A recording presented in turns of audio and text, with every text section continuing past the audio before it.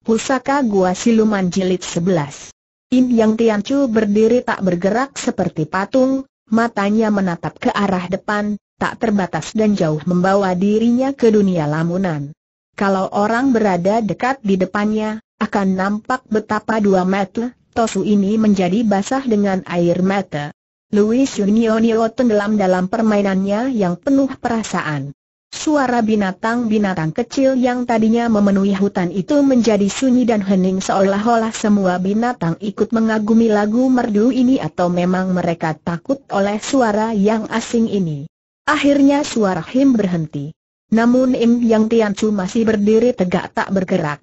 Bahkan ketika terdengar suara Louis Yunionio terisak, selamat tinggal, Ken Su Heng, masih juga Tosu itu diam tak bergerak. Adapun Ling ketika tadi mendengar bahwa wanita ini adalah Louis Yunionio ketua Hualian Pai dan Guru Wio Tiap Naplinio, tahulah dia mengapa wanita itu mencari ayahnya. Timbul kegemasan dalam hatinya, akan tetapi ketika ia tadi hendak bergerak turun tangan memberi hajaran kepada wanita yang memusuhi ayahnya karena membela kematian Siang Pian Kai Leong Sin Kang, membatalkan niatnya karena ikut terharu oleh pemandangan di bawah, melihat pertemuan antara dua orang kekasih yang agaknya terpaksa harus berpisahan dan bertemu setelah terlambat itu. Juga hati Lin terharu oleh suara Him yang memang amat merdu itu. Timbul hati sayang dan kasihan terhadap wanita ini, sungguh pun wanita ini memusuhi ayahnya. Louis Yunionio meninggalkan tempat itu cepat-cepat dan di jalannya menyusut air matanya. Terbayang semua peristiwa 25 tahun yang lalu, Ketika itu ia masih seorang gadis remaja putri yang cantik jelita menjadi pujaan banyak pemuda. Dia putri seorang tokoh Kang Ou, Louis T. E. San yang menjadi tokoh besar di puncak Tapaisan, seorang sakti yang hidup bertiga dengan dua orang anaknya, Louis Chin putranya dan Louis Yunio putrinya.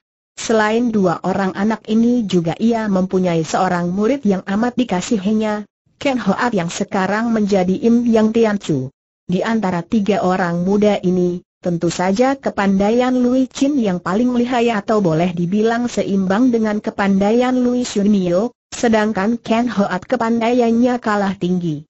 Watak Lui Shunio amat keras dan biarpun ayahnya membujuk padanya untuk memilih seorang di antara pemuda yang telah datang meminang, pemuda-pemuda hartawan, pemuda-pemuda bangsawan dan tidak kurang pemuda-pemuda Kang Ou, namun Shunyo tetap menolak. Apa sebabnya? Tak lain karena Shunyo jatuh hati kepada suhengnya sendiri. Ken Hoat. Mereka saling mencinta dan menyatakan perasaan itu hanya melalui sinar mata. Akan tetapi di dalam pandang mata ini mengandung seribu macam bahasa pernyataan cinta kasih yang mendalam, yang sekaligus mengikat janji tanpa kata-kata melihat kekerasan kepala puterinya yang usianya sudah cukup masak untuk memasuki pintu pernikahan itu, Louis T. E. San yang sudah tua jatuh sakit sampai membawanya ke lubang kubur. Di ambang kematiannya, ia berpesan kepada putranya untuk menjodohkan Sunio kepada seorang pemuda Kang Ou, putra seorang sahabatnya. Akan tetapi, setahun setelah tokoh itu meninggal dunia, Sunio tetap menolak bujukan kakaknya untuk menikah, malah secara terang-terangan mengaku bahwa ia hanya mau menikah dengan Ken Hoat. Dapat dibayangkan betapa marahnya hati Lui Chin. Ia menduga bahwa Ken Hoat telah main gila, berlaku tak patut terhadap adiknya, ia mendatangi Ken Hoat, dimaki-maki sebagai seorang yang tak kenal budi, sebagai seorang pelanggar susila. Kemudian dalam marahnya ia menghajar Ken Hoat. Pemuda ini tentu akan tewas dihajar oleh Lui Chin kalau saja Sunio tidak cepat datang menolong. Saking marahnya melihat pemuda kekasihnya disiksa oleh kakaknya, Sunio mencabut pedang dan menyerang kakaknya sendiri. Kepandaian mereka seimbang dan Lui Chin tidak menduga bahwa adiknya akan menyerang sungguh-sungguh maka ia tidak melawan dan akibatnya, pedang adiknya amblas memasuki dadanya dan mencabut nyawa dari tubuhnya. Siunio telah membunuh kakaknya sendiri dalam membela kekasihnya. Ken Hoat adalah seorang pemuda yang perasa sekali. Ketika tadi dimaki-maki, ia mandah saja karena merasa salah, maka dipukul dan disiksa pun oleh suhengnya ia tidak melawan. Sekarang, melihat Sunio membunuh Lui Chin, kagetnya bukan main dan ia merasa menyesal sekali. Ia menubruk mayat Lui Chiu, menangis sedih lalu minggat dari situ. Hatinya kecewa sekali karena Sunio, wanita satu-satunya di dunia yang dicintainya, ternyata telah membunuh kakak sendiri hanya untuk membela kekasih. Ken Hoat menyesal dan bersumpah selamanya takkan mendekati wanita. Inilah sebabnya mengapa ia selalu membenci wanita. Ia merantau, memperdalam ilmu silatnya sampai akhirnya ia menjadi tosu bernama LM Yang Tianchu dan memiliki kepandaian yang amat tinggi. Di lain pihak, Louis Yunionio ternyata juga setia dalam cinta kasihnya, semenjak ditinggalkan kekasihnya ia tidak mau menikah, selalu menanti datangnya Ken Hoat. Bahkan setelah ia mendirikan perkumpulan Hoa Lian Pai, ia menyuruh anak buahnya mencari-cari Ken Hoat. Hasilnya sia-sia belaka karena di dunia sudah tidak ada lagi orang bernama Ken Hoat, sudah berganti dengan LM Yang Tianchu yang sayana sekali tidak dikenalnya. Demikianlah riwayat singkat dari dua orang tokoh itu yang sekarang terbayang kembali di depan mata Louis ketika wanita ini meninggalkan ini yang Tian Chu sambil menangis. Tiba-tiba ia merasa pundaknya disentuh orang. Ketika ia memandang, ia melihat di depannya telah berdiri seorang gadis cantik sekali yang tersenyum-senyum manis kepadanya. Louis Yunionio, perlahan dulu, kata gadis itu dengan suara merdu. Gadis ini adalah Liing yang sengaja mengejarnya untuk berbicara tentang ayahnya. Kau siapakah dan apa maksudmu menghadang perjalananku tegur Louis Yunionio ketus. Memang wanita ini adalah seorang ketua perkumpulan besar yang dihormati, biasanya ia amat disegani. Sekarang ada seorang gadis muda berdiri di depannya dengan senyum-senyum, tentu saja ia tidak senang. Louis Yunionio, Aku bernama So Liing dan aku sengaja menyusulmu, hanya untuk menyatakan bahwa kau tidak boleh mengejar-ngejar So Teng Wei karena apa yang kau lakukan itu adalah hal yang salah sama sekali, Louis Yunionio melengak. Apa maksudmu? Apamu So Teng itu, dia ayahku, ketua Ho Alian Pai teringat akan cerita muridnya. Eh haha, jadi kau inikah yang menjadi gara-gara semua itu sampai matinya suami muridku? kau bocah tak kenal budi. Kau sudah ditolong oleh Sim Kang dari batu karang, akan tetapi balasmu malah menyuruh bapakmu yang gila membunuh Sim Kang, malah Sim Hang Lui juga hampir tewas. Kemudian kau mempermainkan muridku, Yak Linio. Benar-benar kau seorang yang kurang ajar. Sekarang kau berani menghadangku untuk mencegah aku membunuh bapakmu yang gila itu? SSTTT, nanti dulu. Sabar dan tenanglah, jangan buru-buru marah-marah dan memaki-maki orang tidak karuhan. Louis Yunionio, biarpun aku lebih muda, akan tetapi aku merasa kasihan kepadamu, karena itulah aku sengaja mengajakmu bicara secara damai. Apakah kau tahu mengapa ayahku sampai membunuh bajak laut Sin Kang itu? Kau mau mendengar sebabnya? Nah, dengarlah baik-baik setelah kau mendengar penuturanku nanti, terserah kepadamu apa yang akan kau lakukan, hem, kau boleh bicara. Cepat, jangan bikin aku kehilangan kesabaranku Louis Yunionio membentak. Louis Yunionio, apakah kau sudah tahu bahwa suami muridmu, Sim Kang yang terbunuh mati oleh ayah itu adalah seorang bajak laut yang jahat dan anaknya, Sim Hang Lui, malah lebih jahat daripada ayahnya Li Ying mulai bicara hendak membela ayahnya. Jadi bajak atau apa pun juga ada sangkut paut apa dengan kau dan ayahmu. Kau dan ayahmu sudah ditolong oleh Sim Kang, menjadi tamu di perahunya, mengapa kau dan ayahmu malah membalas pertolongannya dengan pembunuhan? Bocah, jangan bikin aku kehilangan kesabaran. Aku tidak biasa membunuh orang muda yang lemah, akan tetapi sekali turun tangan kau akan menyesal aduh galaknya Liing masih saja berjenaka. Nah dengarlah baik-baik. Keputusan yang kau ambil setelah kau mendengar penuturanku tergantung dari sifat dan kepribadianmu.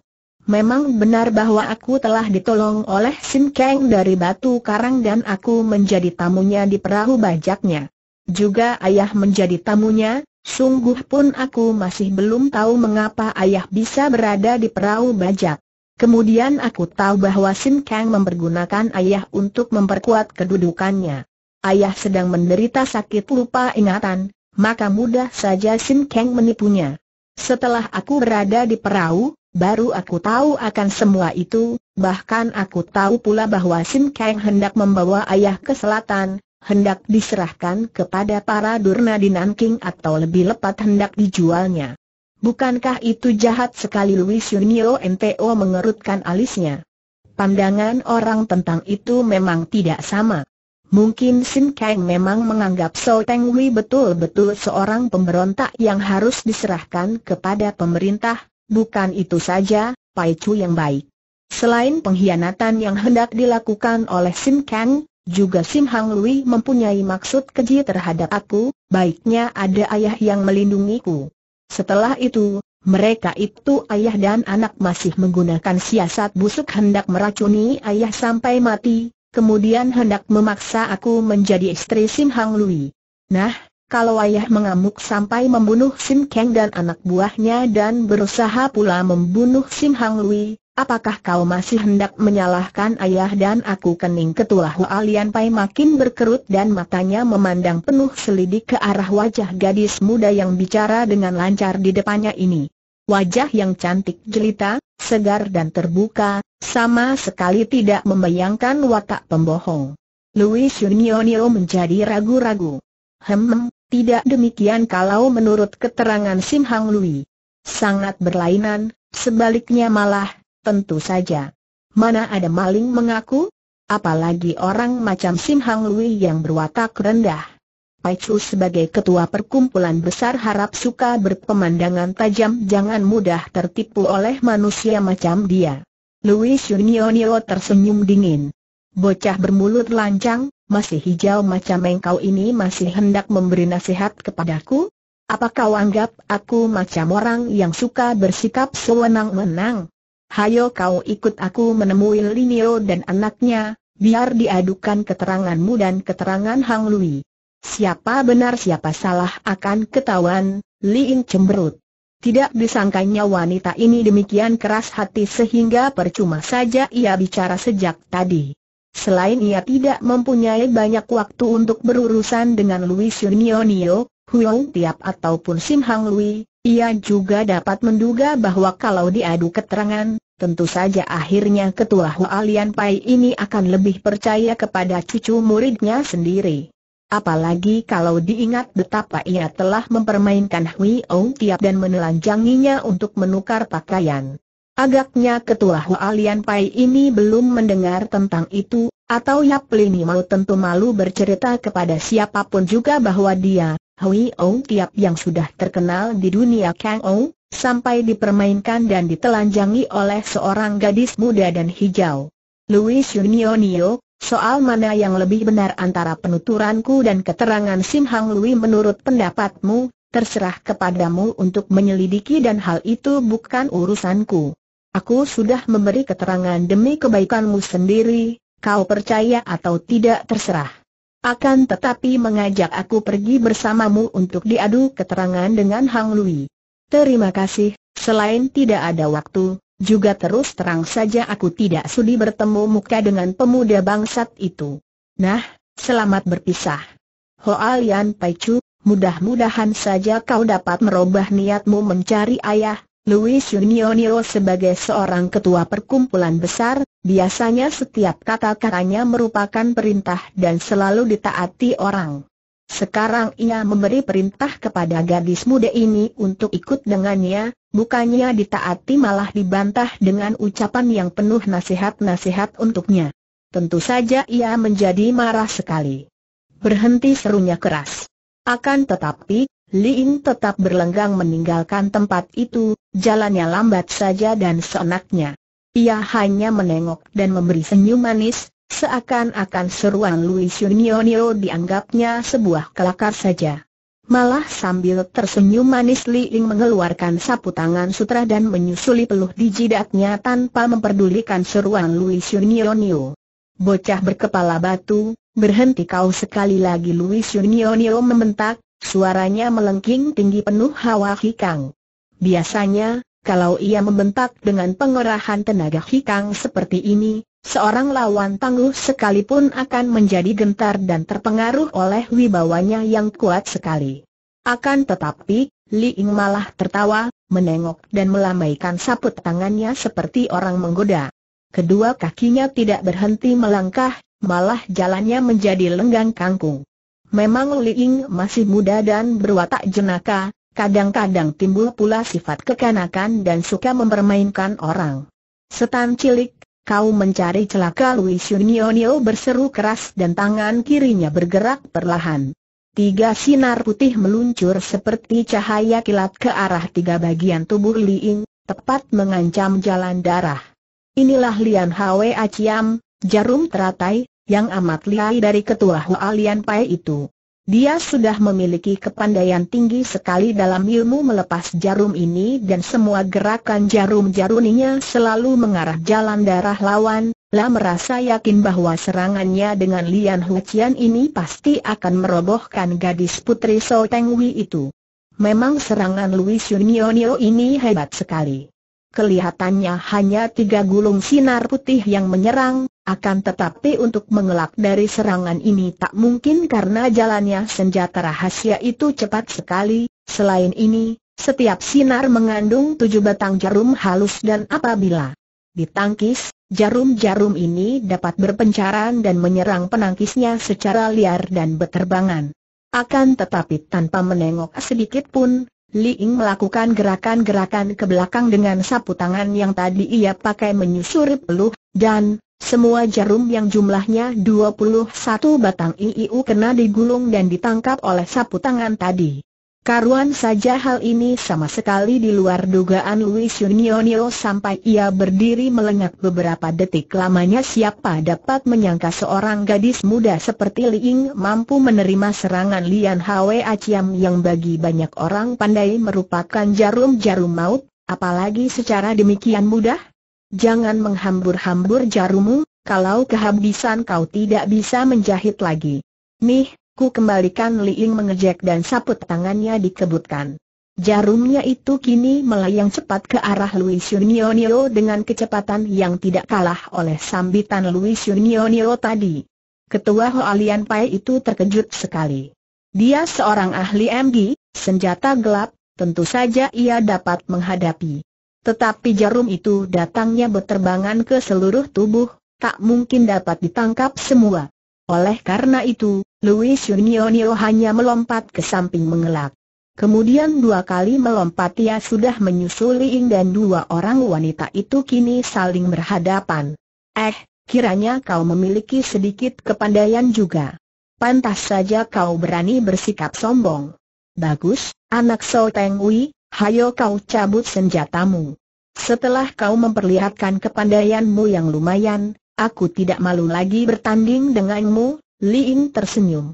Kau sudah tua dan aku masih muda, sudah sepatutnya kalau kau bersenjata dan aku tidak. Aku tidak ingin bertanding denganmu, akan tetapi karena kau berkeras hendak mencelakakan ayahku, baik kau coba dulu anaknya ini, Louis Yunionio marah sekali. Belum pernah ada orang berani memandang rendah kepadanya, apalagi hanya seorang gadis muda seperti ini. Tentu saja ia tidak sedih untuk menggunakan senjatanya melawan seorang gadis muda yang bertangan kosong. Kau sombong perlu dihajar bentaknya dan tubuhnya bergerak. Gerakan Louis Yunionio cepat bukan main sampai hampir tidak kentara, akan tetapi tahu-tahu ia sudah melangkah maju dan kedua tangannya menampar dari kanan kiri ke arah muka Liing biarpun Liing telah mewarisi ilmu yang aneh dan sakti dari Bu Beng Sin Kun, akan tetapi dia kurang pengalaman dan dibandingkan dengan Louis Yunionio, tentu saja dia kalah jauh sekali dalam hal latihan dan pengalaman. Menghadapi gerak cepat yang dilakukan oleh Louis Yunionio ini, mana dia sanggup mengelak? Untuk menangkis pun sudah tidak ada waktu lagi dan plak piak kedua pipi gadis itu sudah kena ditampar oleh ketua Hualian Pai. Untuk kedua kalinya Louis Yunionio kaget dan terheran-heran. Menurut patut, tamparan itu akan membuat gadis itu terguling atau setidaknya kesakitan karena tidak banyak orang yang dapat menahan tamparan tangannya. Akan tetapi anehnya, Li LNG sama sekali tidak bergeming malah merah pun tidak pipinya. Sebaliknya, Louis Yunionio merasa telapak tangannya pedas sekali seakan-akan bukan pipi berkulit halus yang ditamparnya tadi melainkan papan baja yang keras. Untuk beberapa detik ketua Hoa Liam Pai ini berdiri terpaku seperti tidak percaya kepada perasaannya sendiri. Akan tetapi segera sebagai orang pandai ia menyadari bahwa ia telah berhadapan dengan seorang gadis muda yang berkepandaian tinggi. Tanpa ragu-ragu lagi ia lalu mencabut senjatanya yang istimewa, Hoa Lian Sing Kiam, pedang yang bentuknya seperti bunga teratai emas. Keluarkan senjatamu tantangnya karena betapapun juga, mengingat akan kedudukannya, Louis Yunionio masih merasa malu dan sungkan untuk menyerang gadis itu tanpa memberi kesempatan mengeluarkan senjatanya. Li Ying tadinya marah sekali ketika ditampar. Baiknya ia telah memiliki sinkang yang luar biasa di dalam tubuhnya, berkat latihan-latihannya menurut petunjuk coretan-coretan Bu Beng Sin pun di dalam gua siluman ketika tadi tamparan Louis Yunionio menyambar, ia mengerahkan tenaga dalam melindungi pipinya sehingga tidak sampai terluka biarpun ia masih merasakan pedasnya bekas tangan lawan tangguh ini. Akan tetapi ketika ia melihat ketua Hualian Pai ini mencabut senjata aneh dan tidak terus menyerang, kemarahannya pun lenyap. Li Ying seorang gadis yang gembira dan perasa, ia dapat mengetahui bahwa wanita di depannya ini tidak jahat dan masih sungkan melawannya. Sudah kukatakan tadi bahwa aku yang muda sudah sepatutnya mengalah sedikit kepadamu. Kalau kau berkeras hendak berkelahi, majulah, Aku tidak takut akan senjatamu yang bagus itu, kau sendiri yang minta, jangan bilang aku terlalu menghina yang muda kata Louis Yunionio, sekarang ia sama sekali tidak berani memandang rendah kepada gadis muda itu. Ia menggerakkan tangan kanannya dan Hoa Lian Sin Kiam itu tergetar, kembang dan dua langkai daunnya bergerak-gerak seperti setangkai bunga teratai tertiup angin dan daun-daun lebar di kanan kirinya bergerak seperti diraba ombak. Kemudian senjata aneh ini meluncur ke depan dan sekaligus, kembang dan daun-daun itu menyerang ke arah tujuh jalan darah di tubuh Li Ying secara bertubi-tubi dan cepat sekali. Hebat Liin berseru memuji dan terpaksa ia mengeluarkan langkah-langkah aneh yang ia pelajar dari dalam gua siluman. Tiba-tiba tubuhnya seperti orang mabok terhuyung-huyung atau seperti orang gila menari-nari tidak karuan akan tetapi, ternyata semua serangan Hoa Lian Sin Kiam di tangan Louis Yunionio dapat dilakukan dan sedikit pun tidak menyentuh ujung bajunya. Aneh sekali ilmu silatmu Louis Yunionio tak tertahan lagi berseru setengah memuji setengah ragu-ragu karena melihat gerakan-gerakannya, apa yang diperlihatkan oleh Li Ying itu sukar disebut ilmu silat, begitu kacau tidak karuan sampai tubuhnya sendiri terhuyung-huyung. Namun semua serangannya gagal. Ia masih tidak percaya dan mengirim lagi gelombang serangan dengan senjatanya itu sampai tujuh kali beruntun. Setiap serangan mempunyai tujuh tikaman, maka gelombang ini berarti 49 jurus mengurung tubuh Liing dari semua jurusan seakan-akan ia dikeroyok oleh belasan orang lawan yang berpedang lihai. Hebat bukan main ilmu silat yang dimainkan oleh Louis Yunionio inilah telah mengeluarkan ilmu pedang Hoalian Sin Kiam Hoat yang paling tinggi karena penasaran tak dapat mengalahkan gadis itu. Jarang ada orang sanggup menghadapi gelombang serangan ini. Lagi-lagi Liing mengeluarkan langkah-langkahnya yang luar biasa. Gadis ini terhuyung-huyung seperti mau jatuh, bahkan kadang-kadang terjengkang atau terdorong ke kanan kiri sampai tubuhnya hampir rebah di tengah, kedua lututnya membuat gerakan peletat-peletot tidak karuan, kadang-kadang kakinya meloncat-loncat seperti bocah menari kegirangan, kadang-kadang berjongkok dengan kedua kakinya bergerak maju mundur. Semua ini ia selingi seruan-seruan kecil seperti, lihai sekali Aya dengan suara yang nyaring berpengaruh. Kali ini benar-benar Louis Yunionio terheran-heran. Selama hidupnya belum pernah ia mengalami hal seperti ini. Sudah ratusan kali ia berhadapan dengan lawan, di antaranya banyak pula yang tangguh-tangguh, akan tetapi ia harus akui bahwa belum pernah ia melihat lawan seperti gadis muda ini. Gerakan-gerakan mengelak seperti lakunya seorang badut atau seorang gila ini saja sudah aneh sekali karena selalu dapat mengelak serangan Hualian Sin Kiam. Akan tetapi yang lebih aneh lagi, setiap kali daun atau bunga Hoalian Sin Kiam itu berhasil mendekati tubuh Liing dan hampir melukainya, dengan seruan Ayea atau Adu itu saja, senjatanya seperti tertolak mundur dan tidak berhasil melukai lawan yang muda dan aneh ini. Louis Yunionio teringat akan cerita ayahnya dahulu, bahwa di barat terdapat semacam ilmu yang mendekati ilmu sihir, yaitu bentakan-bentakan yang mengandung tenaga tersembunyi. Pernah juga ia menjumpai tokoh-tokoh yang pandai ilmu Sai Chuhokang, Auman Singa, bahkan ia sendiri sudah mempelajari dan menyalurkan tenaga melalui Iwakang yang mengisi bunyi alat tetabuhan himnya. Akan tetapi suara-suara semua ini hanya mengandung getaran yang mempengaruhi semangat dan debaran jantung lawan saja, tidak mendatangkan tenaga tersembunyi yang dapat menangkis senjata seperti yang dilakukan oleh gadis ini. Mungkinkah gadis semuda ini sudah memiliki ilmu tinggi itu? Karena makin khawatir dan penasaran kalau-kalau ia takkan mampu menangkan gadis ini, Louis Yunionio cepat menggerakkan tangan dan tahu-tahu alat tetabuhan him yang berada di punggung telah berada di tangan kanannya, sedangkan senjata Hoalian Sin Kiam sudah pindah ke tangan kirinya. Senjata Him ini jangan sekali-kali dipandang ringan dan jangan dikira hanya merupakan alat tetabuhan belaka. Sebetulnya Him ini merupakan senjata istimewa dari Louis Yunionio, maka ke mana pun ia pergi, selalu ia bawa. Malah kalau dibandingkan dengan pedangnya Hoalian Sin Kiam yang aneh, senjata Himnya ini lebih lihai lagi. Hal ini terasa oleh Li Ying ketika Him itu menyambar ke arahnya. Hebat bukan main hawa pukulan yang mendahului senjata luar biasa ini. Ling maklum dari sambaran hawa pukulan ini bahwa senjata ini di tangan lawannya merupakan senjata hebat yang berbahaya dan selalu mendatangkan pukulan maut. Gadis ini mulai menjadi marah.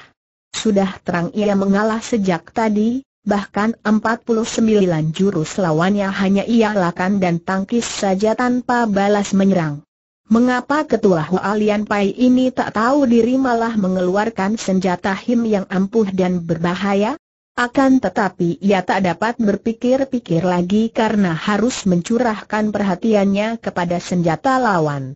Him itu sekarang bergerak mengurung dirinya dan mengeluarkan bunyi aneh sekali, mengaung-ngaung seperti ada ribuan ekor lebah terbang mengelilinginya lah merasa anak telinganya sakit, Hatinya ngeres dan kepalanya pening mendengar suara ini, suara yang sebetulnya ditimbulkan oleh angin yang meniup senar-senar him sehingga mengeluarkan suara aneh itu ditambah dengan tenaga hikang yang dikeluarkan oleh Louis Yunionio. Hem, orang ini harus diberitahu rasa, pikir Li Ying tiba-tiba ia mengeluarkan bentakan nyaring dan panjang mengerikan, bukan seperti suara manusia. Inilah pengerahan hikang yang amat tinggi, yang ia pelajari di dalam gua siluman, dan ilmu ini disebut jeritan si gila. Mendengar suara ini lemah seluruh aurat syaraf dan kaku rasanya semua buku tulang Louis Yunionio. Selagi ia mengerahkan seluruh iwakangnya untuk melawan pengaruh yang mengejutkan ini, tiba-tiba tangan Liim bergerak menampar ke arah Him dengan kekuatan yang tak pernah terbayangkan oleh Louis Yunionio. Teraang suara keras ini disusul oleh suara putusnya senar-senar Him dan Louis Yunionio terhuyung mundur. Ketika wanita yang amat kaget dan heran ini memandang, ternyata bahwa alat tetabuhan Him yang disayangnya itu telah putus semua senarnya. Benar-benar hebat sekali tamparan Li Ying tadi dan Louis Yunionio menjadi pucat. Kini ia mengakui bahwa ternyata gadis ini kepandaiannya luar biasa sekali dan ia tidak akan dapat melawannya. Sampai lama saking herannya ia menjadi bengong, berdiri tak bergerak seperti patung memegangi himnya yang sudah rusak. Kau terlalu mendesakku, terpaksa diberitahu rasa sedikit. Ku harap saja kau bisa merubah niatmu mencari ayah, karena selain pihak muridmu yang salah juga tak mungkin kau dapat menangkan ayah, sebelum sempat menjawab.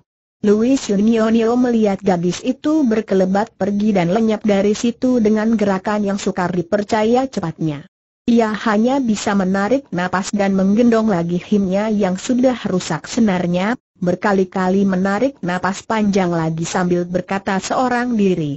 Dunia sudah berubah banyak. Ada bocah berkepandaian sehebat itu sampai aku tidak tahu.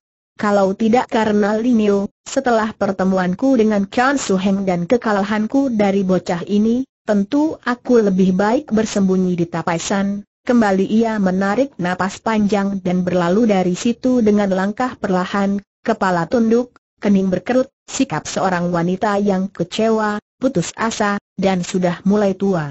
Adapun Liing yang pergi meninggalkan tempat itu, tentu akan langsung menyusui ayahnya ke Peking Utara kalau saja ia tidak teringat bahwa akan diadakan pibu antara pihak Tiong Gipai dan pihak Aoyang Taijin, dan ia tahu bahwa dalam pibu itu tentu Siok Ho akan maju menjadi jago. Ia tidak tega meninggalkan pemuda itu menjadi jago menghadapi orang-orangnya Aoyang Taijin yang ia tahu banyak yang liai dan keji. Kalau saja tidak ada pemuda ini, kiranya Ling sudah pergi menyusul ayahnya. Akan tetapi bayangan Siok Ho selalu tak terlupakan olehnya, dan ia benar-benar merasa khawatir kalau pemuda itu akan mendapat celaka dalam pibu.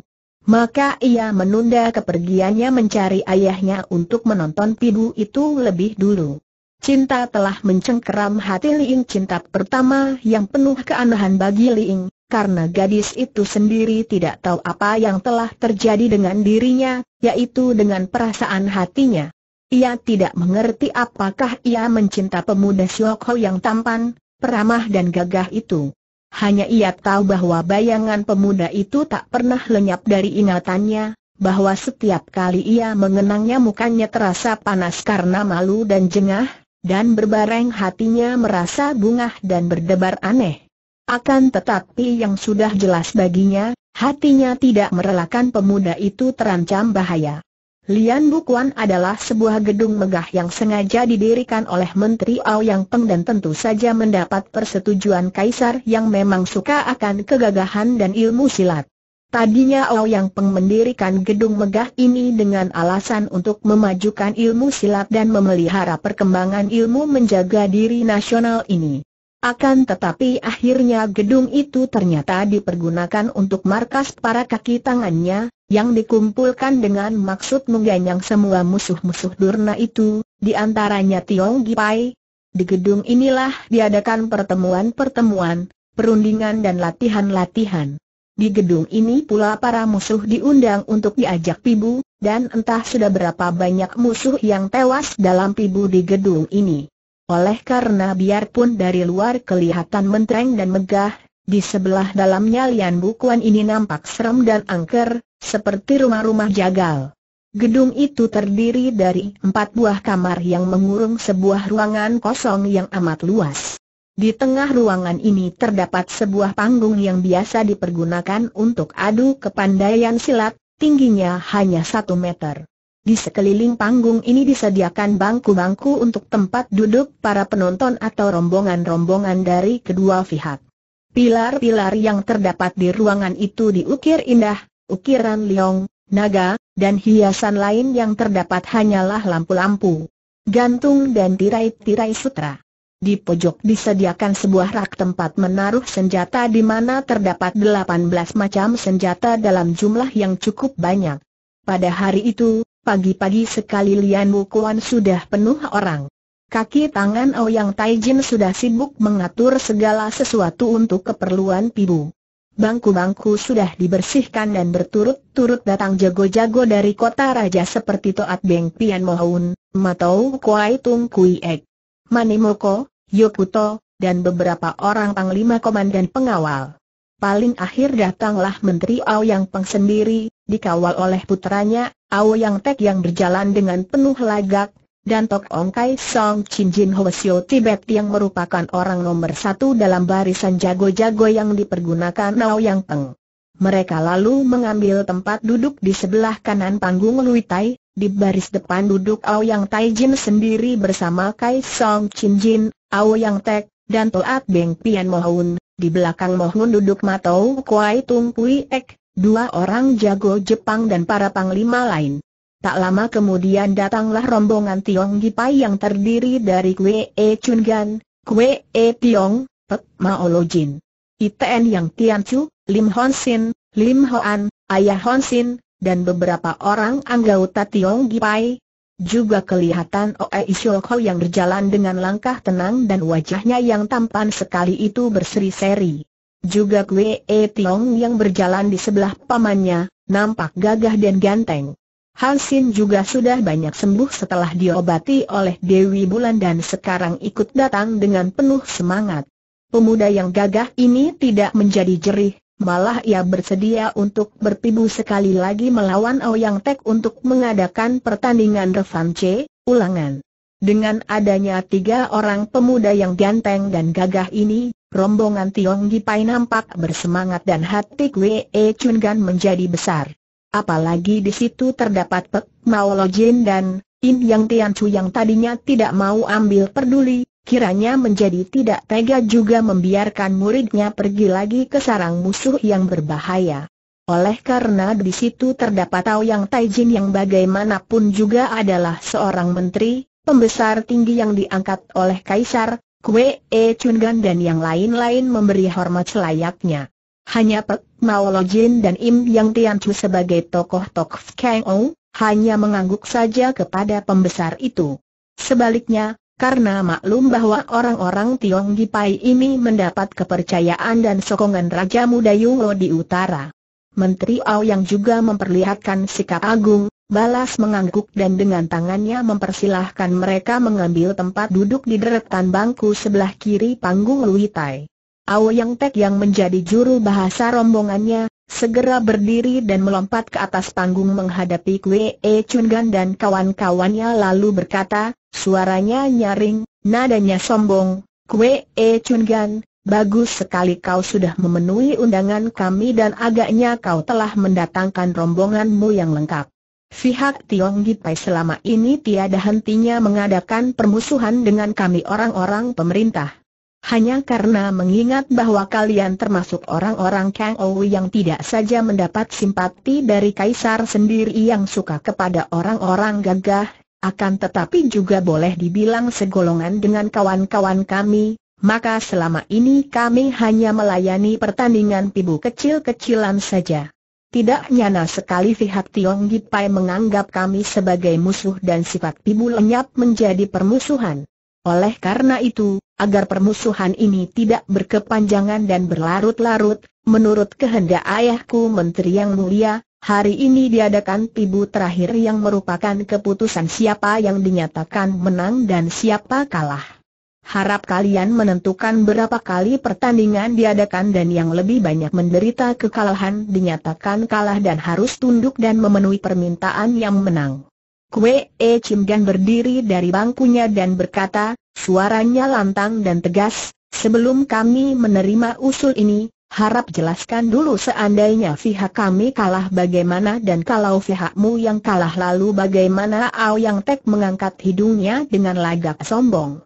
Kami adalah orang-orang pemerintah yang mengerti aturan, tentu saja untuk itu diadakan peraturan sesuai dengan keadilan. Karena kalian kami anggap membuat rusuh, maka kalau kalian kalah, kalian harus pergi dari kota raja dan jangan menginjakan kaki lagi di sini, jangan memperlihatkan diri lagi, karena kami lalu akan menangkap kalian secara resmi sebagai pemberontak-pemberontak. Sebaliknya kalau kalian yang menang, kalian boleh tinggal di kota raja dan kami takkan menganggap kalian sebagai musuh, malah kalau kalian suka, kami bersedia memberi kesempatan kepada kalian mencari kedudukan sebagai hamba pemerintah. Aduh, semua orang kota memang pandai sekali bicara, terdengar Im Yang Tiancu mengeluh. Kakek ini yang biasanya tidak suka bicara, merasa pening mendengarkan begitu banyak kata-kata.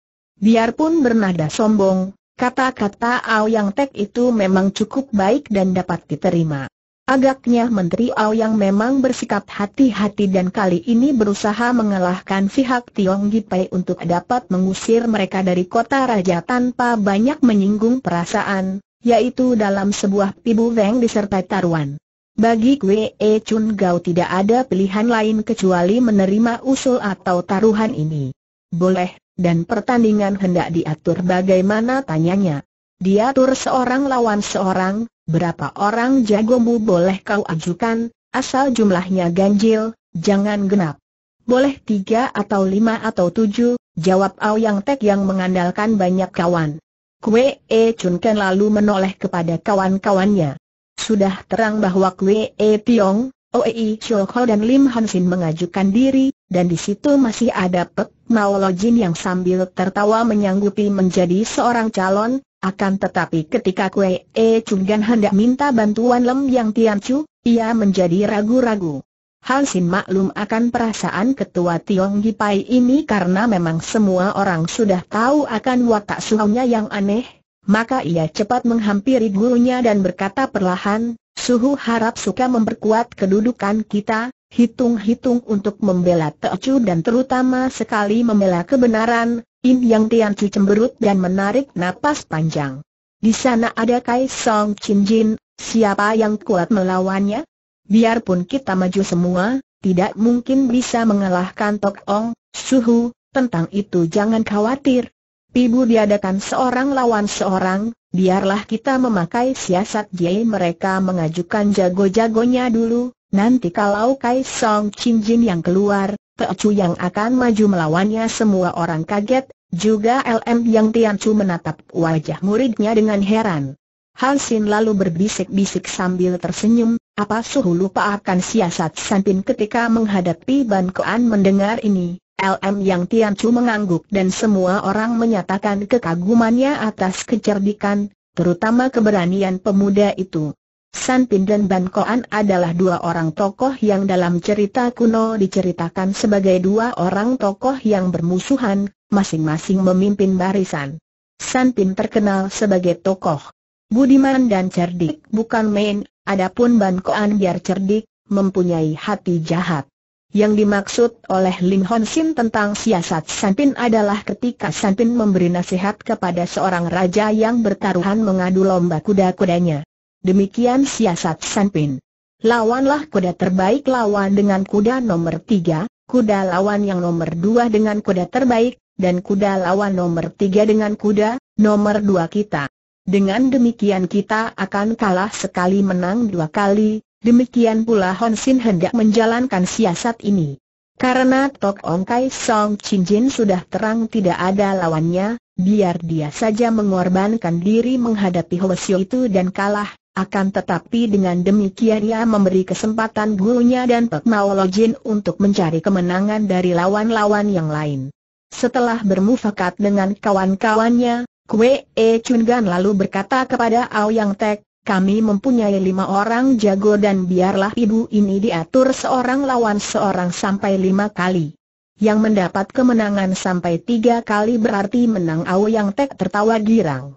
Bagus, kita siapkan jago masing-masing pemuda ini sudah merasa pasti akan menang, karena di pihaknya ada Tok Ong Kai Song Chin Jin, ada Toat Beng Pian Mohun, Matou Kuai Tung Pui Ek dan dua orang jago Jepang. Takut apa? Pasti menang. Karena kami adalah sebagai tamu, harap tuan rumah segera mengajukan jagonya yang pertama Kue E Chun Gan menantang, mulai menjalankan siasatnya yaitu hendak melihat lebih dulu jago mana yang diajukan oleh lawan agar dapat mengimbanginya. Dari pihak Yang Tek muncul seorang pendek gemuk dan kepalanya gundul bundar, jubahnya gedombiangan seperti jubah pendeta. Inilah Yokuto yang sudah diberi isyarat oleh Tok Ong Kai Song Chin Jin untuk maju. Juga pihak Yang Tek ini biarpun yang menjadi juru bicara Yang Tek, namun dalam pibu yang mengatur adalah Tok Ong sendiri.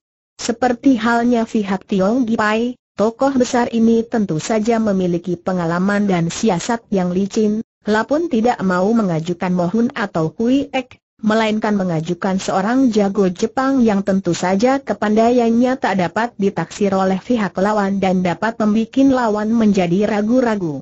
Memang tepat perhitungan Kai Song Chin Jin. Majunya jago Jepang ini membingungkan Kue E Chun Gan dan kawan-kawannya dan merusak siasat mereka.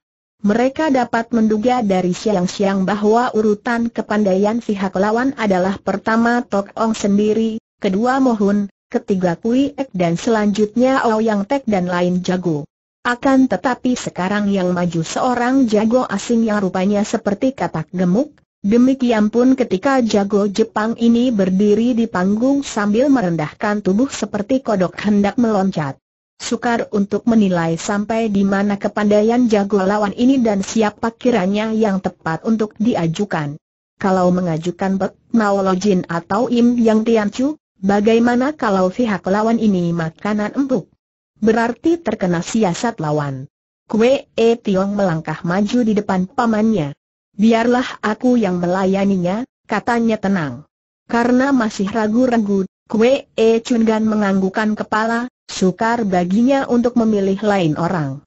Majulah dan hati-hati, agaknya dia memiliki kepandaian istimewa, Kue E Tiong menggerakkan kedua kakinya dan dengan ringan sekali ia melompat ke atas panggung gerakannya sederhana, namun ginkangnya membuktikan bahwa pemuda ini memiliki kepandaian tinggi. Kedua kakinya tidak mengeluarkan suara sedikit pun ketika ia berada di depan dan memasang kuda-kuda, merangkap kedua tangan ke depan dada dan berkata, Aku Kue E Tiong mendapat kehormatan untuk menemani Lau Eng Hiong Main Main. Tidak tahu siapakah nama besar Lau Eng Hiong Yokuto tertawa, giginya yang hitam dan kecil-kecil itu kelihatan sekilat di tengah mukanya yang bulat seperti bola. Ia mengangguk-angguk sambil membongkok dalam, matanya sipit hampir tertutup. Orang muda yang gagah, aku Hosyo miskin Yokuto, Mendengar suara yang asing ini dan mendengar nama Yokuto, tahulah Kwe E Tiong dan semua orang yang berada di situ bahwa Jago Kate ini adalah seorang Jepang. Diam-diam Kwe E Tiong menjadi gemas sekali. Sudah terang orang-orang Jepang banyak yang menjadi bajak dan mengganggu rakyat di pantai timur, bagaimana Ao yang pengsudi mempergunakan tenaga orang Jepang? Sudah jamaknya orang memandang rendah kepada bangsa yang memusuhi negara dan bangsanya, apalagi seorang muda seperti Kwe E Tiong. Melihat Hosio Jepang yang menyeringai sungkan-sungkan itu, Kwe E Tiong memandang rendah segera ia membentak, Bangsa bajak lihat seranganku dengan cepat pemuda ini melangkah maju dan mengirim pukulan keras ke arah dada lawan. Biarpun tubuhnya besar bundar, Ternyata HWSO Jepang ini memiliki gerakan yang lincah sekali. Menghadapi serangan itu, dengan tenang namun cepat kakinya menggeser ke samping, tubuhnya meliuk ke bawah dan mengelak dengan mudah dan gerakannya itu amat aneh, asing bagi Kwe E Tiong. Dan hebatnya, Yokuto dengan kontan membalas serangan lawan dengan cepat, kedua tangannya bertubi-tubi memukul ke depan dengan jari-jari tangan terbuka tangannya dipergunakan sebagai pedang atau golok, membabat dan menusuk, dan melihat jari tangan yang kaku keras itu, Kue E Tiong dengan hati kecut dapat menduga bahwa lawannya tentu memiliki tenaga terlatih semacam Tiat Si Jiu, tangan bubuk besi. Setiap serangan selalu diikuti dengan teriakan-teriakan Hai Tia Ah dan Kue E Tiong maklum betapa berbahayanya pukulan tangan miring ini. Namun, Betapa keras dan cegatnya serangan berantai dari Yokuto, dengan mudah murid Pek Maolojin dapat mengelaknya. Pada suatu saat yang tepat, Kue E Tiong sengaja menangkis dengan jari tangan dimiringkan pula, mengadu lengan untuk mengukur sampai di mana kekuatan lawan. Plak, plak hampir berbareng dua serangan tangan kanan kiri sampai akan tetapi keduanya dapat disampok oleh Kue E Tiong sehingga kedua lengan mereka saling bertemu. Akibatnya, Yokuto terhuyung mundur karena terdorong dan kesakitan, sedangkan Kwe E Tiong juga melangkah mundur karena terdorong dan merasa kedua lengannya sakit dan ngilu. Tahulah ia bahwa kalaupun ia menang tenaga, kemenangan itu tidak ada artinya atau boleh dibilang hampir sama seimbang. Pada saat keduanya mundur, Kue E Chun Gan melompat ke pinggir panggung dan menggunakan isyarat dengan tangannya diangkat ke atas dan mulutnya berseru, harap yang pibu berhenti dulu Yang Tek mengerutkan kening. Biarpun belum dapat dilihat siapa yang akan menang dalam pibu pertama ini, namun sikap Kue E Chun Gan mencurigakan. Kue E Chun Gan, kau mau apa menghentikan pibu tanyanya tak senang. Sebelum pibu dilanjutkan, aku perlu mengetahui dulu sampai di mana batas pibu ini. Dalam keadaan bagaimanakah dianggap kalah Kue E Chun Gan bertindak tepat sekali. Ia tadi melihat bahwa biarpun ilmu kepandaian keponakannya amat tinggi, namun ternyata lawannya, orang Jepang itu, juga lihai, lah khawatir kalau-kalau pihak Yang Tek hendak mempergunakan siasat keji, yaitu membasmi semua orang Tiong Gipai. Dia sendiri tidak takut mati, akan tetapi orang muda seperti Kwe E Tiong yang masih panjang cerita, masih belum kenyang hidup di dunia, sayang kalau sampai tewas. Yang Tek tertawa mengejek, hahaha, kue E Chun Gan. Masa begitu saja kau masih bertanya lagi? Kalau orang sudah memasuki pibu, apa artinya darah mengalir dan nyawa melayang betul katamu, akan tetapi harus diingat bahwa pibu ini sekedar hendak menentukan siapa yang menang siapa kalah dan di samping itu ada pertaruhannya. Kalau sifatnya mau bunuh-membunuh, mengapa kau tadi bicara lunak dan menginginkan habisnya permusuhan Kue E Chun Gan balas mengejek. Yang Tek menengok ke arah Tok Ong Kai Song Chin Jin, akan tetapi Hwasyo itu diam saja. Yang Tai Jin menggerakkan tangan ke arah putranya. Yang Tek menghampiri dan pembesar itu berbisik sesuatu. Kue E Chun Gan, kalau menurut kehendakmu bagaimana tanya pemuda itu setelah mendengar bisikan ayahnya. Siapa yang terlempar ke bawah panggung, dia yang kalah. Tentu saja kalau terlempar sampai mati atau tewas di atas panggung, itu bukan soal. Hanya siapa yang sudah terlempar ke bawah panggung, dianggap kalah dan yang menang tidak sekali-kali boleh menyerang terus untuk membunuh. Yang Taijin mengangguk-angguk dan Yang Tek menjawab, baik kami terima usulmu itu. Memang biasanya dalam pibu demikian aturannya. Mengapa kau mengajukan usul yang sudah tidak asing lagi bagi kita semua dalam segala hal lebih baik dijanji dulu dan orang-orang yang merasa diri gagah biasanya tidak mau melanggar janji? Jawab Kwe E Chun Gan dengan suara dingin menyindir, membuat Tao Yang Tek menjadi merah. Kwe E Chun Gan lalu melompat turun, kembali ke tempat duduknya. Sementara itu, Kue E Tiong sudah mencabut senjatanya, yaitu sepasang pedang. Memang oleh perut Maolojin pemuda ini diberi pelajaran ilmu siang kiam yang lihai. Kue E Tiong sengaja mencabut pedangnya karena ia melihat gurunya berkedip kepadanya dan memandang ke arah punggungnya, tanda bahwa gurunya menghendaki ia mempergunakan senjata. Yokuto, keluarkan senjatamu, mari kita main-main dengan pedang, Tantang Kue E Tiong yang tentu saja tidak mau bersikap curang dan mempersilahkan lawannya mengambil senjata. Hihihi, kiranya orang muda juga pandai main pedang. Aku sih selamanya mengandalkan sepuluh jari tangan dan dua kaki, akan tetapi kalau kau ingin main-main dengan senjata tajam, boleh kita coba-coba, tubuhnya yang gemuk pendek itu menoleh, ke arah Manimoko yang melemparkan sebuah pedang kepada kawannya itu. Pedang ini berbeda dengan pedang yang dipegang oleh Kwe E Tiong, jauh lebih panjang dan lebih besar, bahkan tidak lurus melainkan agak bengkok. Pedangku lebih panjang dan besar, akan tetapi hanya sebatang, sedangkan pedangmu yang kecil ada dua batang, jadi sudah adil. Mulailah, orang muda kata Yokuto sambil memegang pedang itu dengan cara yang lucu, yaitu dipegang dengan kedua tangannya. Kue E Tiong melihat ujung pedang lawan yang dilonjorkan ke depan itu bergerak-gerak menjadi beberapa buah, tanda bahwa pegangan lawannya kuat dan menggelar penuh tenaga dalam. Ia lalu mendahului dengan serangannya, menusuk sambil menggeser kaki ke kanan sehingga tusukannya tu masuk dari samping. Heit Yokuto berteriak dan pedangnya melayang ke kiri, menangkis pedang lawan dengan kuat sekali. Akan tetapi Kue E Tiong tidak mau mengadu senjatanya yang kecil. cepat ia menarik kembali pedangnya dan pedang kirinya kini menyambar dengan babatan ke arah pinggang.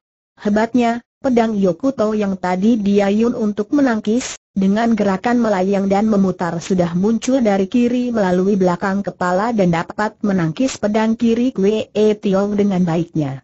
Pemuda itu kaget karena hampir saja pedangnya terlepas. Demikian berat dan kuat pedang lawan itu. Ia mulai berlaku hati-hati sekali, lalu mempergunakan ginkangnya untuk mengurung lawan dengan sinar pedangnya. Ilmu pedangnya memang hebat dan ia mempergunakan dua buah pedang yang jauh lebih kecil dan ringan daripada pedang lawan, maka tentu saja gerakannya jauh lebih cepat. Bagi para penonton yang kurang pandai ilmu silat tinggi, tentu kagum sekali melihat tubuh pemuda itu lenyap di gelung sinar pedangnya sendiri dan kelihatan dua gulung sinar pedangnya menyerang dan mengurung Yokuto yang menjadi mandi keringat. Permainan pedang bagus berkali-kali Yokuto berseru memuji. Ia terpaksa harus memutar-mutar pedangnya yang besar dan berat untuk melindungi dirinya dari ancaman sepasang pedang lawan. Akan tetapi, hal ini membuat ia lelah sekali, bermandi keringat dan tak dapat membalas serangan lawan. Seluruh tubuhnya sudah basah kuyup, akan tetapi ia benar boleh dipuji karena sudah 50 jurus lamanya dikurung, Tetap saja sepasang pedang Kwe E Tiong belum dapat menembus pertahanannya yang kuat. Terang sudah bahwa dalam ilmu pedang, jago Jepang itu tidak nempil melawan Kwe E Tiong, murid Pek Maolojin yang lihai itu. Yokuto sendiri maklum bahwa kalau dilanjutkan pertempuran pedang ini, ia pasti akan kalah. Demikian pula kawan-kawannya sudah menjadi gelisah. Tok Ong Kai Song cincin mengerutkah kening sedangkan Ouyang Tek membanting-banting kakinya. Oleh karena tahu bahwa bertanding pedang ia takkan menang, Yokuto lalu mempergunakan siasat yang nekat. Ketika sepasang pedang lawannya yang muda datang menyambar, yaitu yang kiri menusuk dada dan yang kanan menabas leher, ia cepat menerjang pedang yang menusuk dada itu dengan tangkisan yang amat kuat. Ini ia lakukan dengan tangan kanan saja yang memegang pedang, sedangkan tangan kiri ia pergunakan untuk menyambar pedang yang membacok lehernya sambil merendahkan tubuh mengelak. Teranggak sabetan pedang besar itu hebat bukan main dan seluruh tenaga Yokuto dikerahkan, berbeda dengan Kue E Tiong yang membagi tenaga di antara kedua lengannya. Tidak heran apabila pedang kiri pemuda itu tak dapat dipertahankan lagi, terlepas dari pegangan dan meluncur ke bawah panggung. Akan tetapi, pedang kanannya terus menyabet dan biarpun Yokuto sudah mengelak tetap saja pedang itu mengenai pundak, menyerempet dan melukai kulit daging. Biarpun luka ini tidak berbahaya, namun cukup hebat sehingga Yokuto juga melepaskan pedang besarnya. Akan tetapi, orang Jepang ini hebat sekali. Cepat tangannya menyambar ke depan dan di lain saat ia sudah menangkap tangan Kwe E Tiong untuk merampas pedang. Dalam pergulatan berebut sebatang pedang ini, keduanya mengerahkan tenaga dan pedang itu terlepas jatuh. Kwe E Tiong mengirim pukulan ke depan. Yokuto mengelak ke samping. Saat ini dipergunakan oleh Kwe E Tiong untuk mengambil pedangnya yang tinggal sebatang itu, akan tetapi ia didahului oleh Yokuto yang menggunakan kaki menyepak pedang itu ke bawah panggung. Dengan demikian sekarang semua pedang telah hilang dan dua orang jago ini saling berhadapan dengan tangan kosong lagi. Darah mengalir dari pundak Yokuto, membasahi jubahnya bercampur dengan keringat. Juga Kwe E Tiong nampak lelah, mukanya sudah basah oleh keringat. Dari pihak Tiong Gipai terdengar tepuk tangan gembira ketika tadi Kwe E Tiong berhasil melukai pundak Yokuto. Akan tetapi oleh karena Yokuto tidak roboh dan masih berada di atas panggung, pula masih mengadakan perlawanan maka belum boleh dianggap dia kalah. Jago Jepang ini marah sekali, Mukanya yang bundar menjadi pucat kehijauan dan matanya yang sipit mengeluarkan sinar berapi, penuh dendam. Akan tetapi pada saat itu Kue E Tiong sudah datang lagi mendesak dengan serangan hebat. Pukulan-pukulan keras dan cepat dilakukan pemuda ini bertubi-tubi dengan kedua tangan untuk mendesak lawannya yang sudah terluka pundaknya. Yokuto mencoba untuk mengelak dan menangkis, namun sebuah pukulan mengenai pangkal lengannya, membuat ia terlempar ke sudut panggung. Kembali pihak Tiong Gipai bersorak. Akan tetapi Yokuto ternyata kuat sekali. Ia berdiri lagi dan dengan terhuyung-huyung maju menerjang lawannya. Mukanya menjadi mengerikan karena dari mulutnya mengalir darah, tanda bahwa pukulan tadi telah mendatangkan luka hebat di sebelah dalam. Karena ia belum roboh atau menyerah atau terlempar ke bawah panggung, ia masih belum dapat dianggap kalah. Rupanya Yokuto sudah nekat betul. Biarpun dia sudah terhuyung-huyung, akan tetapi sambil mengeluarkan pekik yang mengerikan, bukan seperti suara manusia lagi, tubuhnya menubruk maju dengan serangan hebat ke arah Kwe E Tiong. Pemuda ini menggeser kaki ke samping dan membalas dengan tuku, antangan kanan. Yokuto menggerakkan tangan dan menangkap tangan Kwe E Tiong secara istimewa. Pemuda itu kaget, mencoba menarik tangannya, akan tetapi tidak dapat. Pegangan Yokuto itu luar biasa sekali dan dalam ilmu yang menyerupai Sin Najiu ini orang Jepang itu ternyata lihai sekali. Pegangannya kuat dan sukar dilepaskan lagi. Kwe E Tiong memukul lagi, kembali tangan kirinya kena dipegang. Dengan kaget Kwe E Tiong mengirim tendangan sampai dua kali yang mengenai lambung lawan biarpun tidak amat telak, namun cukup membuat Yokuto mengaduh kesakitan.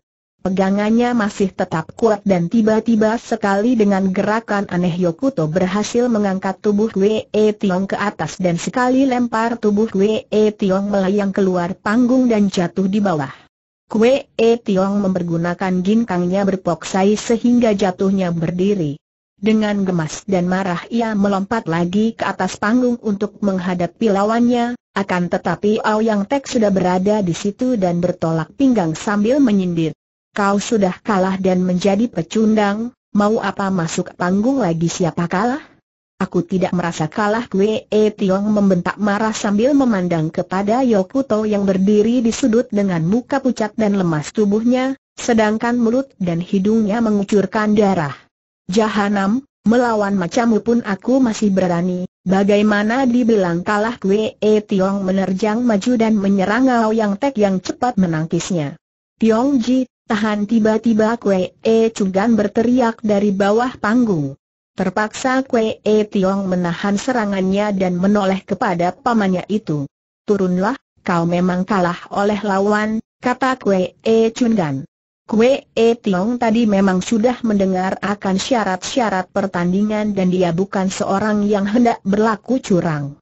Akan tetapi oleh karena menurut kenyataan, lawannya menderita luka-luka berat sedangkan dia sendiri belum terluka, tentu saja ia merasa amat penasaran kalau dinyatakan kalah hanya karena lawannya kebetulan memiliki ilmu tangkap dan ilmu bulat aneh. Sehingga ia dapat dilempar ke bawah panggung. Ia menengok ke arah Pak Maolojin, akan tetapi orang tua ini pun mengangguk-angguk kepadanya. Kue E Tiong merasa kecewa sekali. Wajahnya menjadi merah sekali ketika ia melompat turun dengan tubuh lemas. Tepuk tangan dan sorak gemuruh kini terdengar di pihak Yang Tek menyambut kemenangan pertama. Yokuto yang sudah payah itu dibimbing turun dari gelanggang. Pihakmu sudah kalah satu kali, Kue E Chun Gan kata Yang Tek gembira. Masih ada empat kali lagi. Majukan jagomu, Yang Tek, jawab Kue E Chun Gan tenang.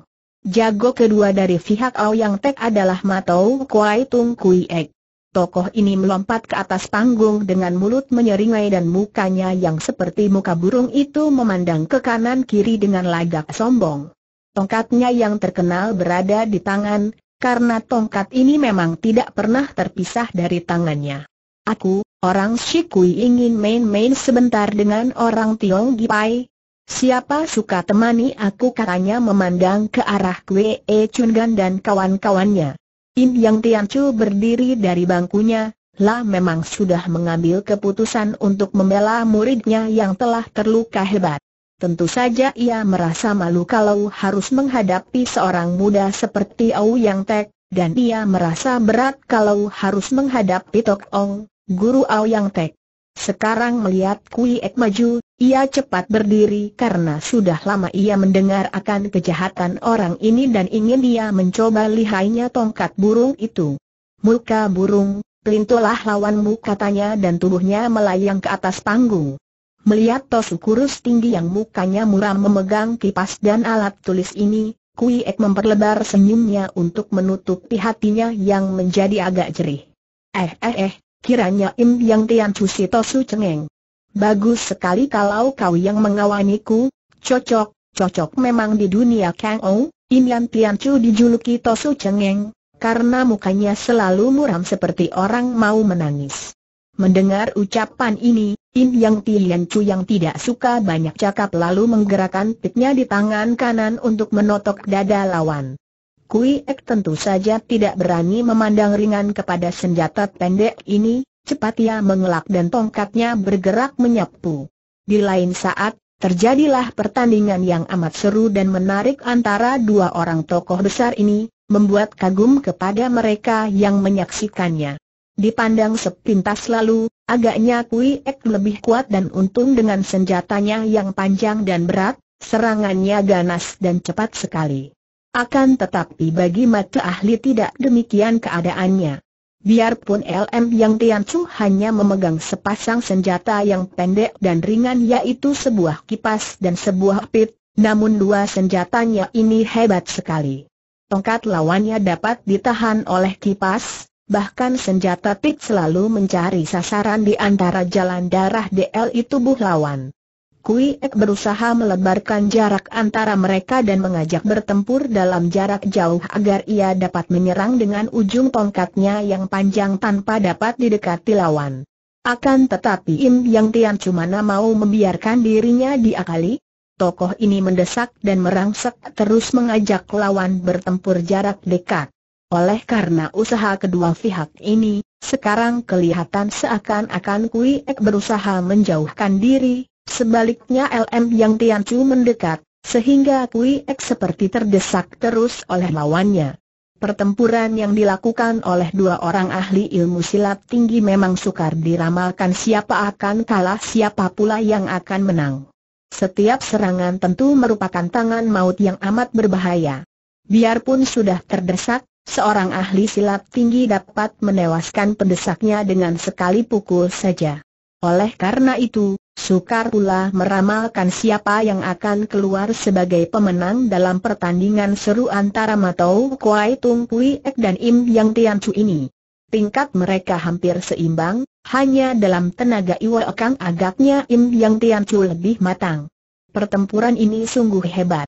Seratus jurus telah lewat tanpa ada tanda-tanda siapa yang akan kalah dan keduanya masih kelihatan segar dan sungguh-sungguh dalam usaha mereka mencari kemenangan. Hanya untung bagi Im Yang Tiancu bahwa selama berpuluh tahun ia hidup sebagai seorang yang menjauhkan segala nafsu keduniawian, tubuhnya bersih hatinya jernih, maka daya tahannya juga lebih kuat daripada Kui Ek yang menjadi hamba nafsu dan pengejar kesenangan sesat. Gerakan tongkat burung makin menjadi lemah sedangkan gerakan kipas dan pit makin kuat saja. Pada suatu saat Kui Ek mendapat kesempatan, tongkatnya menyambar ganas dan keras sekali. Im Yang Tian Chu sudah memperhitungkan bahwa tanpa spekulasi ia sukar memperoleh kemenangan dari lawan yang ulet dan tangguh ini. Melihat tongkat menyambar dengan pengerahan tenaga sekuatnya itu, Im Yang Tian Chu mengangkat kipasnya menerima pukulan itu berak kipasnya pecah, akan tetapi berhasil menangkap tongkat itu di antara tulang-tulang kipas sehingga tidak mudah ditarik kembali. Saat inilah yang dinanti oleh Im Yang Tian Chu karena secepat kilat itnya menyambar ke depan, digunakan sebagai senjata rahasia yang disambitkan ke arah jalan darah di pundak lawan. Tak tepat sekait pit itu menghantam jalan darah dan memang oleh Im Yang Tian Chu disambitkan dengan tenaga menotok maka pit itu tidak terlalu keras hingga tidak menembus daging, akan tetapi cukup kuat untuk menotok jalan darah. Kui Ek mengeluh, tongkatnya terlepas dari tangan dan tubuhnya sempoyongan. Im Yang Tian Chu maklum bahwa seorang lawan setangguh Kui Ek, tentu tidak akan lama terpengaruh oleh totokan tadi yang membuat semua urat seperti kejang, dan tentu akan dapat mengatasi dirinya lagi.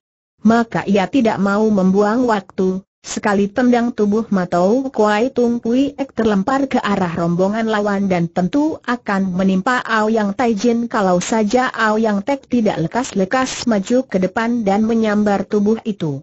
Satu-satu terdengar teriakan dan sorak-sorai rombongan Tiong Gipai untuk menyatakan kegembiraan mereka bahwa keadaan kini menjadi satu-satu. Tai.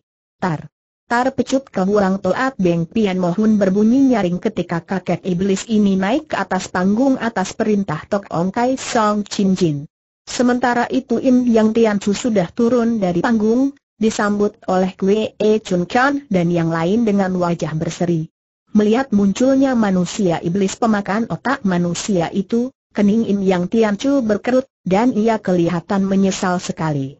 Sayang aku sudah maju menghadapi Kui Ek. Kalau boleh aku ingin sekali melawan manusia siluman ini, katanya seperti kepada diri sendiri. Hahaha, Im Yang Tiancu, jangan begitu tamak kau.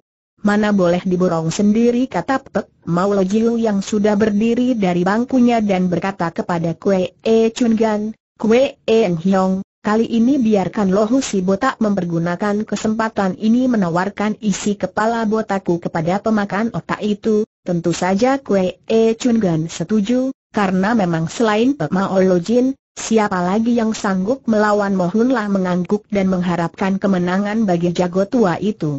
Dengan lenggang dan lagak seorang pelawak, Pek Mao Jin menaiki panggung, lah tidak berkata apa-apa, begitu tiba di depan Mohun, ia menurunkan guci araknya dari atas punggung dan minum arak itu, dituangkan ke dalam mulut begitu saja dan kelihatan amat enaknya.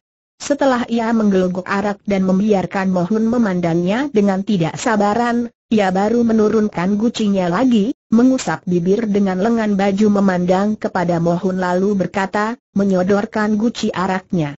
Kau tukang makan otak perlu banyak minum arak untuk mencegah keracunan.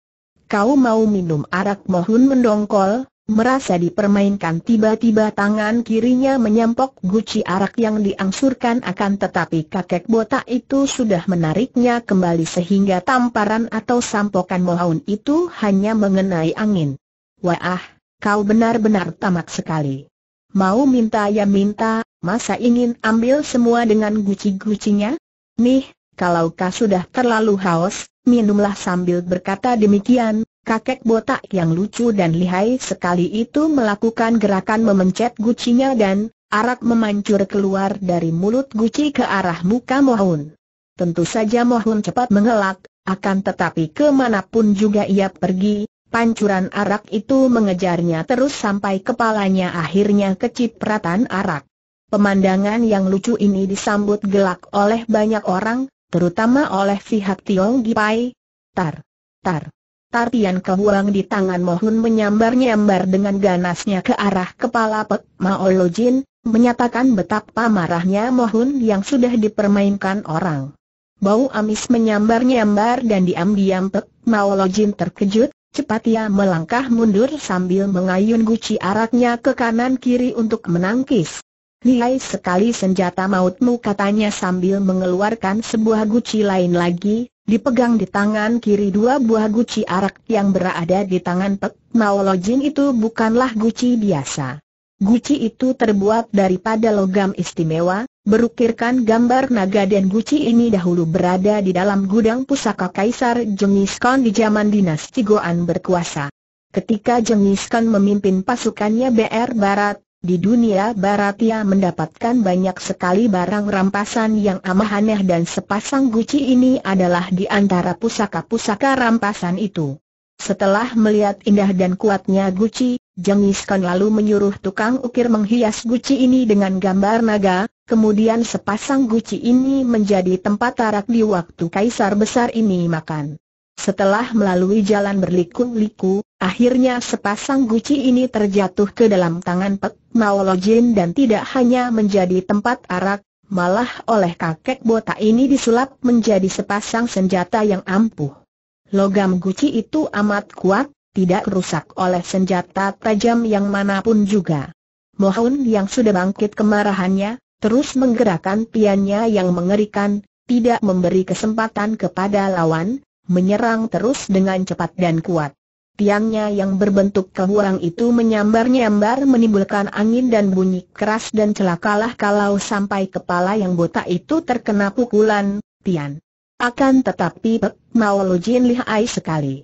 Sambil berloncatan ke sana kemari dan menangkis dengan sepasang guci araknya, semua pukulan pian dapat ia hindarkan. Dihujani pukulan itu, kakek botak ini masih sempat mengejek dan menggoda lawannya. Hi, siluman kelabang. Apakah sudah mengilar untuk makan otakku? Otakku lebih enak daripada otak lain, lebih matang, gurih dan manis. Akan tetapi tidak gampang mengambilnya, harus ditukar dengan kepalamu yang buruk itu digoda begini, makin naik darah mohon, membuat mukanya merah sekali. Ia membabat kaki Pek Maolojin, akan tetapi kakek ini melompat ke atas sambil tertawa-tawa, kemudian ia menggerakkan guci araknya balas menyerang. Ketika gucinya bergerak menyambar, terdengar bunyi ngungguk yang ditimbulkan oleh angin yang memasuki mulut guci. Mohun yang melihat serangan ini dengan senyum mengejek lalu menggerakkan piannya sengaja menangkis dan menghantamkan senjata itu sekuatnya ke arah Guci lawan.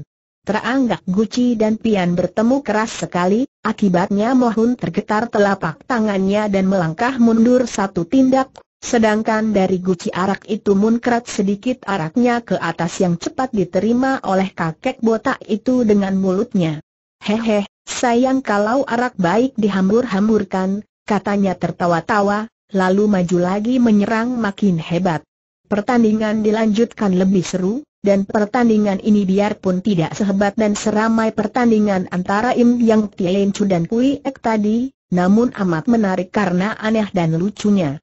Kalau tadi, pertandingan antara Im Yang Tian Chu dan Kui Ek dilakukan dengan sengit, dengan penuh semangat dan kesungguhan hati, adalah sekarang mohon menghadapi lawan yang bertempur sambil tertawa-tawa dan mengejek, nampaknya Pek Mao Lojin tidak bertanding dengan sungguh-sungguh. Ini hanya kelihatannya saja, karena sesungguhnya kakek botak ini sudah mengerahkan seluruh kepandaian dan tenaganya untuk dapat mengimbangi Toat Bing Pian Mohun yang lihai dan amat ganas gerakan senjatanya itu. Seperti juga dengan pertandingan tadi, tingkat kepandaian dua orang tokoh ini pun seimbang dan amat sukarlah bagi masing-masing pihak untuk dapat merobohkan lawan cepat-cepat. Mohon amat penasaran. Masa ia tidak dapat mengalahkan kakek botak yang tertawa-tawa, dan senjatanya hanya sepasang guci arak ini?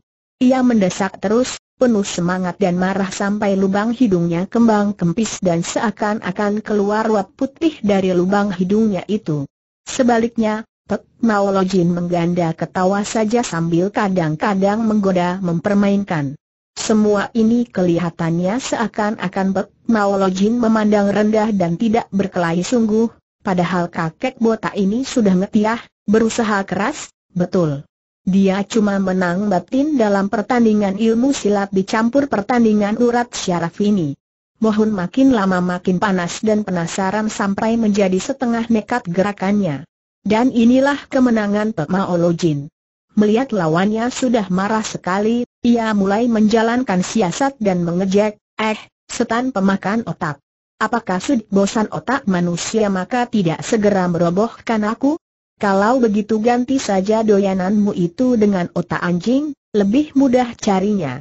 Tinggal tangkap anjing tetangga dan kasembelih kakek botak itu tertawa bergelak sambil melompat ke samping untuk mengelak sambaran pian yang makin ganas itu. Ejekan itu membuat hati Mohun makin panas. Dan ia sama sekali tidak sadar bahwa memang kakek botak itu hendak membuat ia menjadi marah sekali. Sebab kemarahan mengurangi kewaspadaan. Pek Maolojin setelah menghadapi Mohun selama 50 jurus lebih, maklum bahwa kalau dia hendak mengalahkan siluman itu, sedikitnya ia membutuhkan 2-300 jurus, ini pun belum dapat dipastikan karena memang permainan pian dari Mohun luar biasa kuatnya. Oleh karena itu ia hendak mencari kemenangan mempergunakan akal dan sengaja ia mengobori terus biar hati lawan makin panas. Benar saja, mohon makin panas dan makin hebat serangan piannya.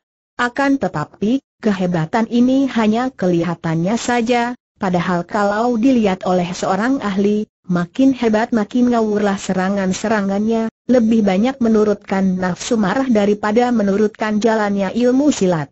Pada saat yang telah diperhitungkan masak-masak, ketika pian menyambar, Pek menerima pian itu dengan guci kiri yang diputar sehingga ujung pian melihat leher guci.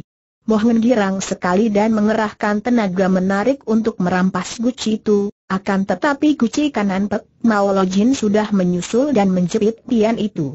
Kemudian, selagi Mohun berkutatan hendak menarik kembali piannya yang melibat dan terjepit, Lek Maolojin tertawa dan menyemburkan arak dari mulutnya secara bertubi-tubi ke arah muka lawannya.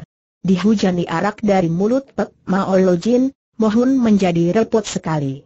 Untuk melompat menghindari semburan arak, tianya masih terjepit. Untuk menerima begitu saja, berarti ia menerima hinaan ditambah rasa celekat-celekit pada mukanya seperti ditusuki jarum. Terpaksa ia melangkah mundur sambil membetot piannya. Pek Maolojin menurutkan lawannya dan melangkah maju dua tindak menahan lagi, menyerang dengan semburan arak, lalu maju lagi. Akhirnya tanpa disadari Mohun sudah sampai di pojok dan di pinggir panggung, tidak ada jalan mundur lagi. Mohun melihat hal ini akan tetapi sudah terlambat, karena tiba-tiba Pek Maolojin menghentikan godaannya dan mengirim serangan serentak sambil melepaskan jepitan pian, menyerang dengan guci araknya yang dipukulkan dari kanan kiri lalu digerakkan dari atas dan bawah. Empat penjuru tempat mengelak sudah ditutup, jalan satu-satunya hanya melompat mundur. Apa boleh buat, daripada kepalanya remuk dihantam guci, terpaksa mohon melompat mundur. Turun dari panggung. Hahaha, tak kusangka pemakan otak manusia masih mempunyai hati murah, mau mengalah terhadapku. Terima kasih, terima kasih sambil berkata demikian, Pek Maolojin turun dari panggung disambut oleh para anggota Tiong Gipai dengan sorak-sorai. Dua satu untuk kemenangan kita orang-orang Tiong Gipai bersorak gembira. Mohun yang melompat turun dari panggung memandang ke arah pihak Tiong Gipai dengan mati melotot. Ingin sekali ia mengamuk dan menyerang orang-orang itu akan tetapi Tok Ong memberi isyarat kepadanya supaya mundur. Kemudian Tok Ong Kai Song Chin Jin sendiri melompat ke atas panggung dan berkata, suaranya besar berpengaruh, sungguh tidak pincengnya na orang Tiong Gipai,